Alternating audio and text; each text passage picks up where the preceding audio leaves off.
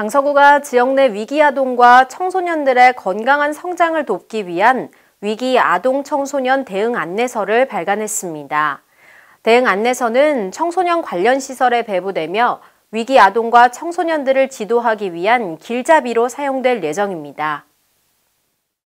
강서구는 지역의 위기 아동과 청소년들에 대한 사각지대를 해소하고 신속하고 정확한 대응을 돕기 위해 안내서를 발간했습니다.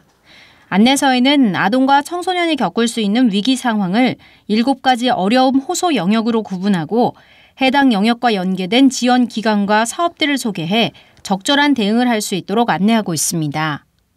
새롭게 제작된 대응 안내서가 우리 주변의 위기 아동 청소년들에 대해 어른들이 관심을 기울이고 도움의 손길을 내밀 수 있는 시작이 되었으면 좋겠습니다. 제작된 책자는 강서구청 교육청소년과 홈페이지에도 올릴 예정이니 많이 이용하셨으면 하는 바람이고요.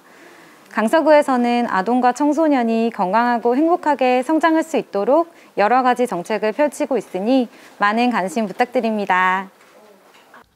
한편 강서구는 서울시 최초로 위기 청소년 심리적 외상 관련 조례를 제정하고 청소년 심리적 외상 긴급 지원단을 구성해 운영하는 등 지역 내 청소년의 건강한 성장을 돕기 위해 촘촘한 안전망 대책을 펼치고 있습니다.